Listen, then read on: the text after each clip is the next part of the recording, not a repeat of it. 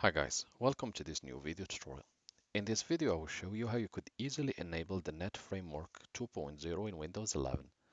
To begin, go to your search bar and type turn Windows features on or off and click on the icon so that it opens.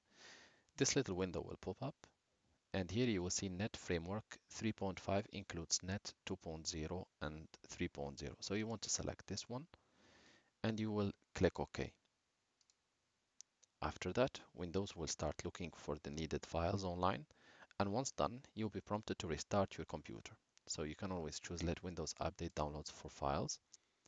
After that, it will take few minutes, up to 4 minutes, and you will be prompted to restart your computer and after that it should be enabled. Thank you guys for watching and talk to you soon in a new video tutorial.